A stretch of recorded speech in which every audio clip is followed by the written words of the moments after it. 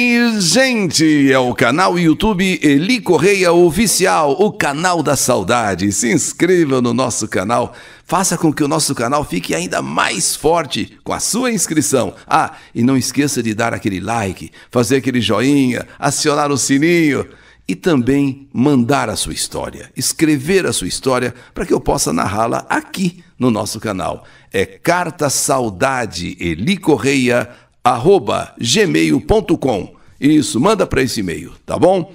E no canal YouTube Eli Correia Oficial, no meu aniversário, um doloroso presente.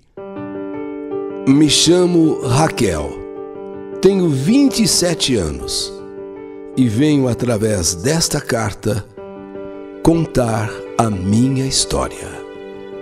Tenho dois irmãos, a Mara, minha irmã mais velha, e meu irmão do meio, que se chama Júlio, que tem o mesmo nome do meu pai.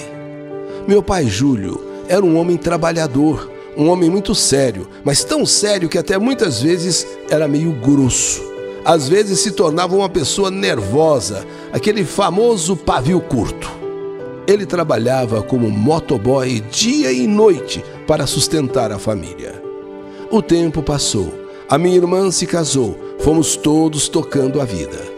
Então, eu sendo a caçula, sempre que meu pai saía para trabalhar, nos intervalos do serviço dele, ele sempre passava em casa, buzinava no portão, eu saía correndo e ele me pedia um gole de café. Era assim que ele falava: Fia, dá um gole de café para o pai.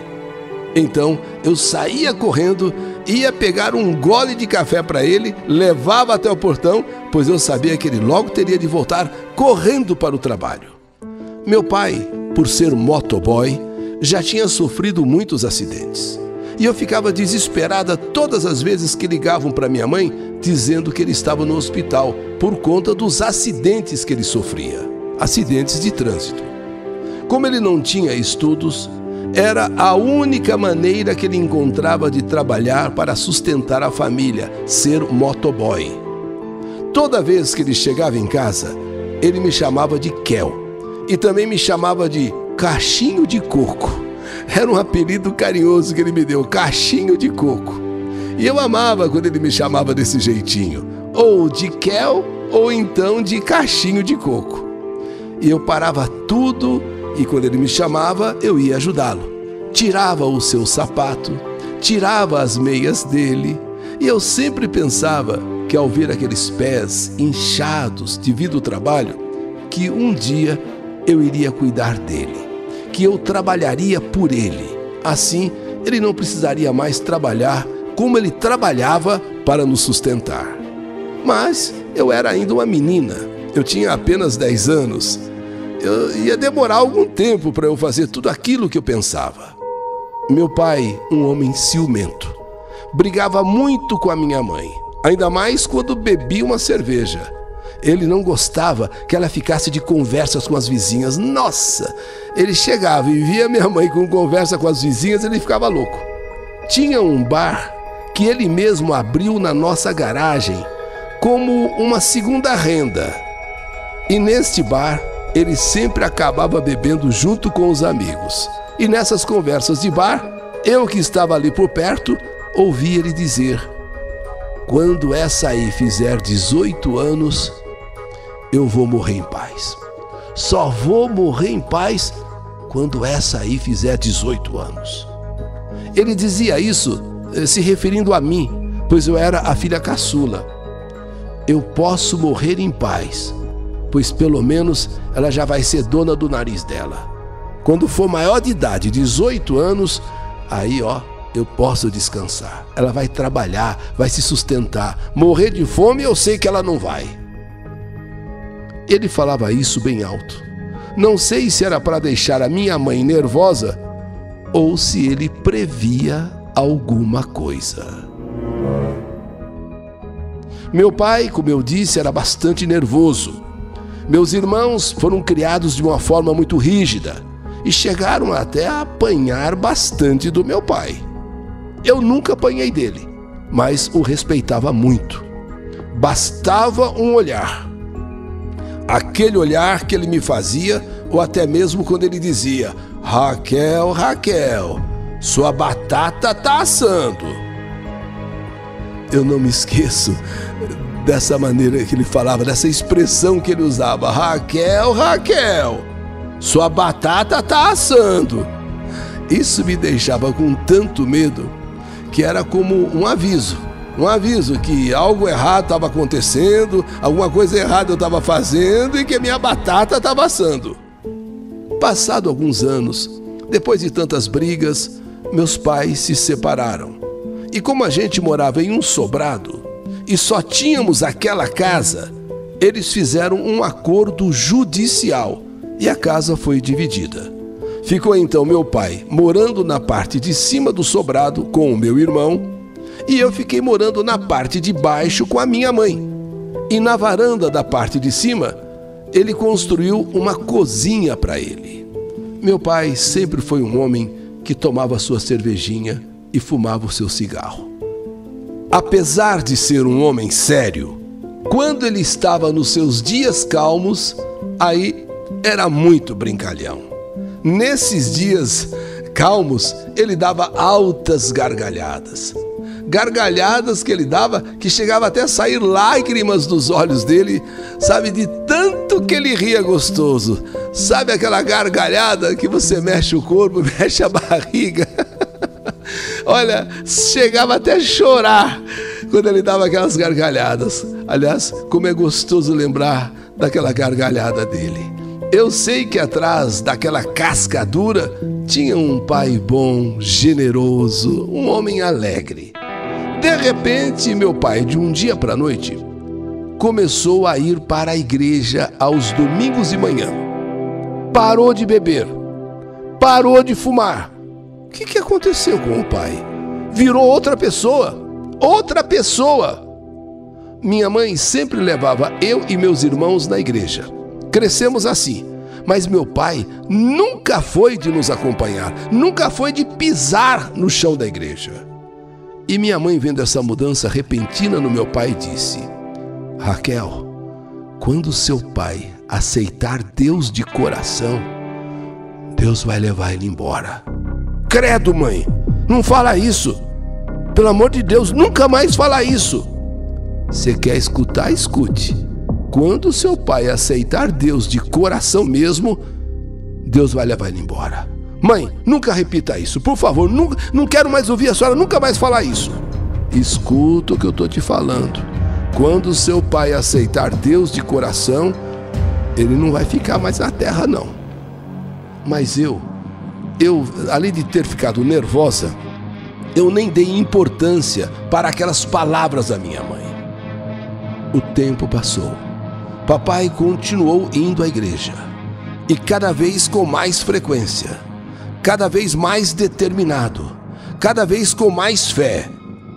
E eu pensava nas palavras da minha mãe: quando teu pai aceitar a Deus de coração, Deus vai levar ele embora. Não, não, não. Isso eu não podia nem pensar isso. Mas aquilo eu não podia pensar, mas pensava.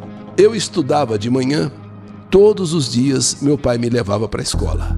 Como era muito cedo e eu tinha apenas 15 anos, ele fazia questão de não me deixar ir sozinha. Então, na saída da escola, como era por volta do meio-dia, aí sim eu voltava sozinha. Mas para ir bem cedo, ele me levava. No dia 17 de outubro de 2011, meu pai me levou, como de costume, para a escola. Eu escutava ele abrir o portão eu escutava ele dar a partida na moto. Então eu me apressava para sair logo, pois ele já estava me esperando para me levar e não gostava que eu me atrasasse. Assim era todo dia. Nesse dia 17 de outubro, meu pai me deixou na porta da escola. E como ele sempre me dava um dinheiro para o lanche, abriu sua carteira, peguei o dinheiro agradeci e fui para a escola. Mas nesse dia, eu desci da moto e ao invés de entrar na escola, eu fiquei parada, olhando na frente do portão da escola, olhando meu pai sair. Ele, eu fiquei olhando até ele descer a avenida e não poder mais ver ele. Fiquei assim, não sei porquê. Normalmente eu pulo da moto, entrava na, na, escola, mas esse dia não, 17 de outubro não. Eu fiquei olhando. Ele peguei o dinheiro, ao invés de entrar, não, ele foi embora, até perder ele de vista lá na avenida. Até não poder ver mais ele. Não era costume eu fazer isso. Mas nesse dia eu fiquei ali parada vendo ele se distanciar. Entrei na escola, estudei, deu meu horário de saída e eu estava então indo para casa, voltando para casa, quando eu encontro a minha irmã, que morava perto de casa, assim, sorrindo, dizendo: Raquel, se prepara que hoje vai ter. Hoje vai ter. O Ju tá nervoso porque o pai não acordou ele para ir trabalhar.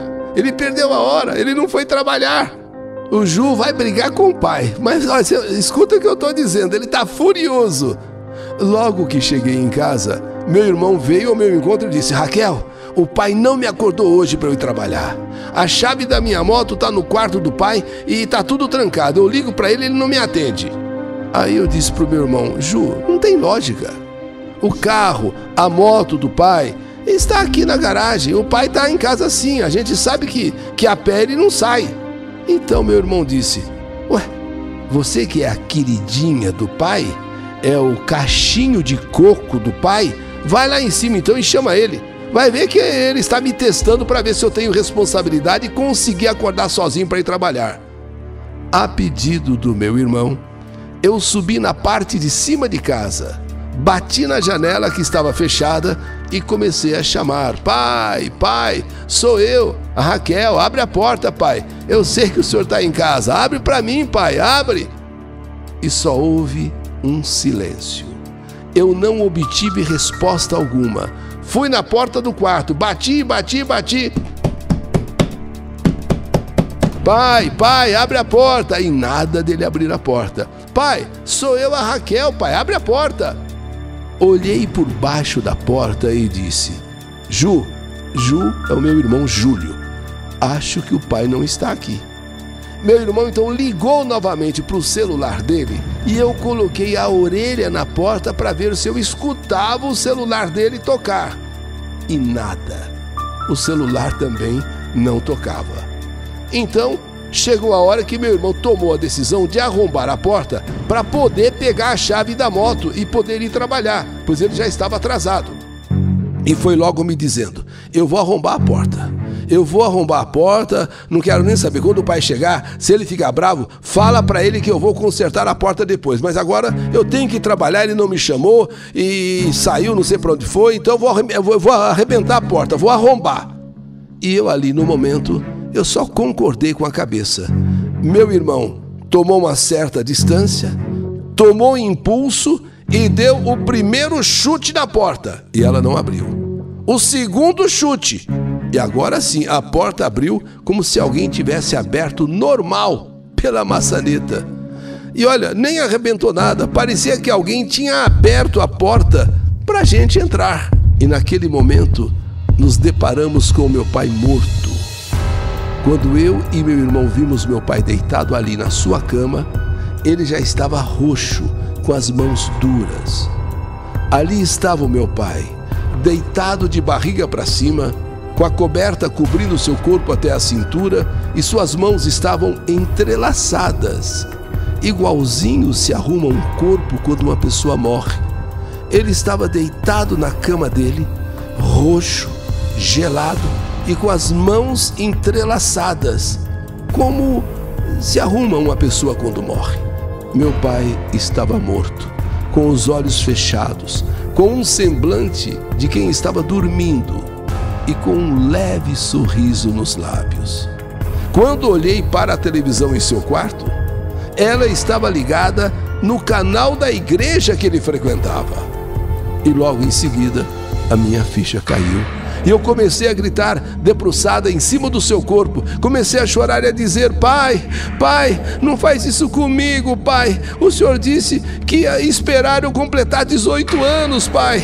Pai, o senhor falou que só ia descansar. O senhor só podia morrer em paz depois que eu fizesse 18 anos. E o senhor não esperou, pai, nem os 16. Nem os 16. Pai, pai, fala comigo, não me deixa, pai. O senhor falou que só ia embora. Só ia descansar depois que eu fizesse 18 anos. Eu não fiz nem 16 ainda, pai. Eu e meu irmão nos abraçamos e choramos juntos ao ver realmente nosso pai morto ali na cama. Não tinha o que se fazer, ele estava morto. Meu pai me levou para a escola e, como estava frio, ele voltou para casa e foi se deitar mais um pouco. E ali ele teve um infarto fulminante aos 59 anos de idade. Meu pai morreu no dia 17 de outubro de 2011 e eu faço aniversário no dia 18 de outubro. Então, eu achava que meu pai tinha culpa. Ele prometeu esperar meu aniversário de 18 anos. Eu ouvi quando ele falou, e falava assim algumas vezes, né, para os colegas lá do bar, de que ele só ia descansar em paz quando eu fizesse 18 anos. Mas não só, ele não esperou os meus 18 anos, como foi embora na véspera do meu aniversário, quando eu ainda ia completar 16 anos. Não só ele não me esperou fazer os 18, como foi embora na véspera do meu aniversário, quer dizer, no dia do meu aniversário, como presente, eu enterrava meu pai. E isso não entrava na minha cabeça, não entrava na minha cabeça. Quer dizer, no dia 18, completando 16 anos, eu no cemitério, enterrando meu pai. É esse o presente, pai, que o Senhor me dá. É esse o presente, Pai. É esse o presente. Mas que dor foi perder meu pai. Que dor foi ver, Pai, o Senhor ali morto. Digo que eu não tenho mais aniversário depois do seu falecimento, Pai. Como comemorar? Como comemorar se o Senhor não está aqui? Faz muitos anos que meu pai se foi, mas a saudade dele continua sendo a mesma. Pai, aqui é a Kel, o seu cachinho de coco, que te ama muito e que tanto o senhor amava, pai. Mas, pai, o senhor não devia ter feito isso que o senhor fez comigo. Eu escutei uma, duas, três vezes o senhor falando para os colegas quando eu, eu passava assim, que o senhor só ia descansar em paz. Aí eu posso morrer em paz quando ela fizer 18 anos. Mas o senhor morreu antes de eu completar 16 e na véspera do meu aniversário, pai. Puxa, que presente o senhor me deu, hein, pai? Que presente! Essa é a minha história. História que a vida escreveu. Que saudade de você! No meu aniversário, um doloroso presente. História do canal YouTube Eli Correia Oficial.